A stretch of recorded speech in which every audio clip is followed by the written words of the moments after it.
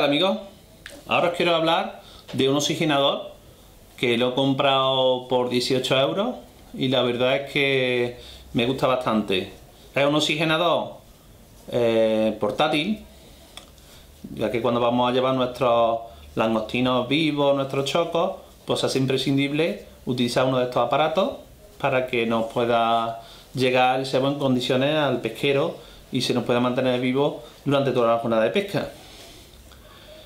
Hay oxigenadores que yo he visto en el mercado que son más baratos que este, porque este vale 18 euros y hay otros que valen 10 eh, euros, 8 euros, pero pienso dos cosas, que aunque parezca más caro, a la larga puede ser más barato, ya que este es de batería recargable, entonces no gasta pila, es una ventaja muy grande, entonces esos 18 euros en un par de semanas lo vamos a amortizar, porque en el momento en que las pilas gordas que te cuesten nada más un paquete, dos euros y medio aproximadamente cada paquete y estamos pescando varios días, pues esa diferencia de 10 euros a 18, como te sale este, pues al final la rentabilizado en cuestión de una semana, dos semanas. Por lo que pienso que tampoco es que sea caro. Tiene una ventaja también este oxigenador y es que tiene aquí un orificio, que ahora lo veréis, que os permite recargar los teléfonos móviles. Tiene para recargar hasta dos teléfonos móviles a la vez. Tiene aquí un puerto que es donde se carga, ¿eh? se carga como los teléfonos móviles. Tiene un cable blanco que es el que viene con el, con el aparato y con este con este cargador pues lo ponemos a, una, a un interruptor de los móviles y con este lo podremos cargar y con esta parte, la otra parte más gruesa, es la que iría lógicamente en caso de que queramos recargar nuestros teléfonos móviles. Esto tiene una batería que tiene dos posiciones, dos fuerzas, con en la posición de menos fuerza te puede durar hasta 25 horas de, sin, sin cargarlo, de uso continuo. Y cuando se le da la otra opción, que es con más fuerza, pues te aguanta hasta 15 horas. La verdad que está muy bien porque me parece unos rendimientos bastante considerables.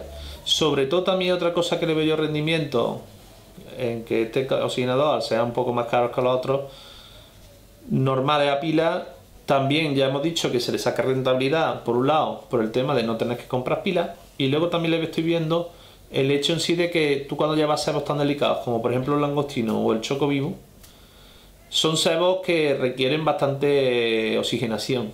Entonces, haré una prueba y veréis cómo este oxigenador tiene más fuerza que los convencionales que compramos normalmente a pila. Entonces eso es un punto más a su favor porque si nosotros nos compramos 10 langostinos vivos te cuesta casi el langostino, casi un euro, y se te mueren 5 porque no tienen bastante fuerza los oxigenador, aunque le cambiemos el agua cada 2 por 3 pero no es lo mismo que tengan una oxigenación mucho más potente que que tengan una oxigenación mucho más débil. Entonces, ya también lo podemos ver también desde el punto de vista de ahorrarlo en el aspecto de, que se puede morirnos menos, menos si, si lo tenemos puesto con más potencia de oxígeno. Tampoco hay muchos más factores, tampoco lo vamos a dejar continuar al sol y ya porque tengas puesto el oxigenador ya te van, te van a estar todos vivos, pero cuidando los, los y si le pones un oxigenador con más potencia y que no le falte el oxígeno, tenemos más posibilidades de que el sebo se nos mantenga mejor vivo. Ahora voy a hacer una demostración de, cómo es el oxigenador. Tiene aquí un botoncito que te sirve para el nivel de carga de la batería. Entonces, dependiendo del nivel de carga que tenga, pues son más o menos puntos de luz. Tiene también, aquí se presiona dos veces, tiene una linterna, que también me parece un poco una tontería. La verdad que, que la linterna no la veo yo muy práctica, pero bueno, tiene una opción de linterna. Tiene también aquí un cargador de color negro, que este cargador sirve para en caso de que tengamos una linterna externa, pues en este puerto de aquí pues le pasaríamos luz a nuestra linterna, linterna exterior. Y ahora voy a hacer una demostración para que veáis la fuerza que tiene. Primera una posición de fuerza.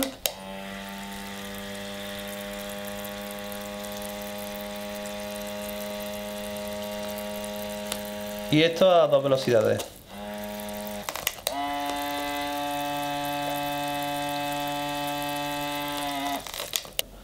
Una cosa que no me gusta, por ejemplo, de este oxigenador es que el tubo aquí donde se le fija no tiene. podría ser más gordo, porque es que esto aquí se sale con nada. Es una cosa que a mí no me gusta de este oxigenador. Que en el momento que le pone el tubo, como lo maneja así más de la cuenta, se cae con toda facilidad. Esto es una cosa negativa que no me gusta. Luego, lo veo bastante hermético y cerrado y posiblemente pueda resistir a lo mejor al agua, no lo sé, en las especificaciones no lo dice.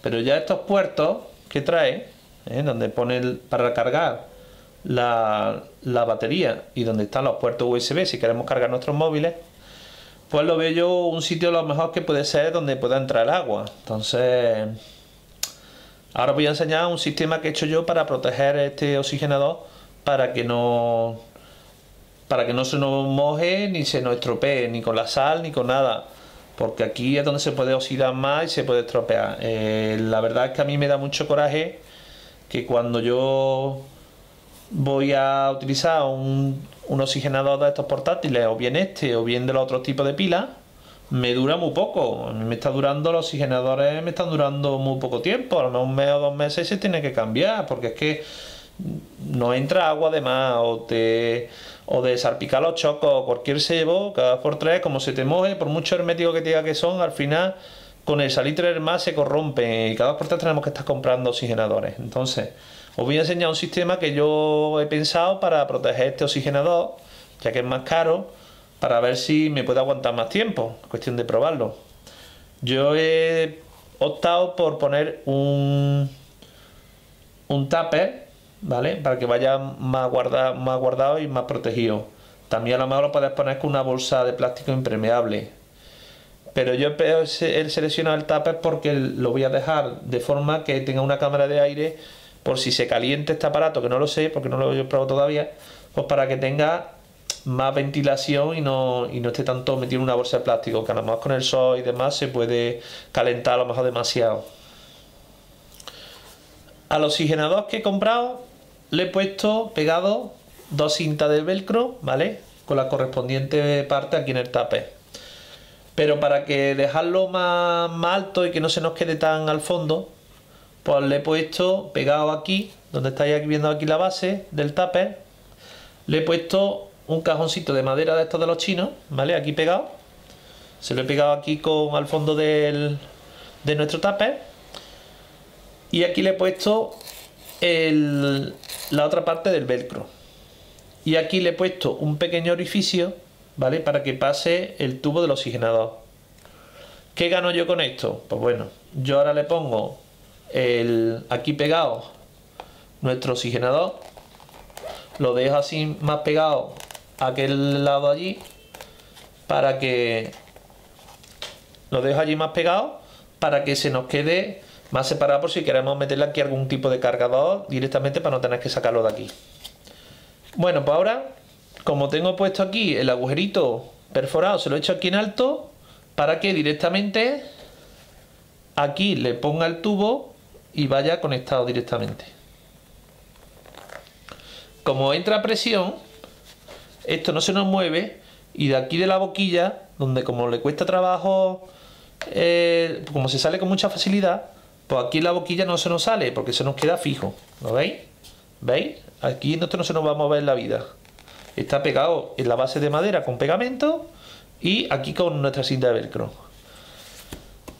Y ahora, pues para que evitar sal y evitar cualquier tipo de, de agua que le pueda salpicar, cerramos nuestro tape y aquí tenemos nuestro oxigenador. Si tenéis, por ejemplo, la nevera, donde lleváis, por ejemplo, los cebos vivos, pues aquí le podéis poner un poquito de velcro también y esto va sobre el velcro. Entonces, este tape también pues iría sobre la otra caja que tenéis y de esta forma va siempre protegido y cuando estáis pescando con él, pues no tenéis por qué sacarlo, lo, abrís nada más, encendéis el aparato, cerráis el tape y vuestro tape siempre cerrado, vuestro oxigenador para que no para que no se nos estropee. De esta forma lo vamos a mantener más protegido, no le va a caer agua ni le va a caer nada ni arena y con lo cual pienso yo que nos va a tener que durar más el aparato. ¿Por qué lo pongo también en alto? ¿Por qué le pongo esta base de madera? Pues esta base de madera se la estoy poniendo para que esto se nos quede más alto. Entonces, yo algunas veces pongo este oxigenador, se lo pongo yo dentro de, por ejemplo, de una nevera de, de estas náuticas.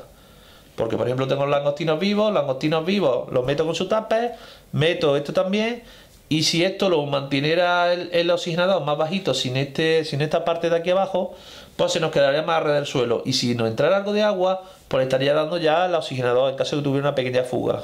¿Vale? Pues entonces, al tenerlo aquí más alto, lo separo de la base y como el agujero está aquí más alto, pues es más, más difícil que se nos entre agua. Y luego, aparte de eso, este tubo, por lo normal es que le pongamos algún tipo de silicona o lo que sea para evitar que se nos meta más agua. Bueno, y eso es todo. Espero que os haya gustado este pequeño tutorial de cómo utilizar este oxigenador, que la verdad que me ha gustado mucho y cómo protegerlo, cómo evitar que se nos pueda estropear, como se nos estropea la mayoría de los oxigenadores por no por caerle agua de más o por cualquier otro motivo. Así que nada, espero que os haya gustado. Os invito a que compréis un canal aparatito como este, la verdad que tiene bastante potencia. Y nos vemos en el siguiente vídeo. Un abrazo a todos.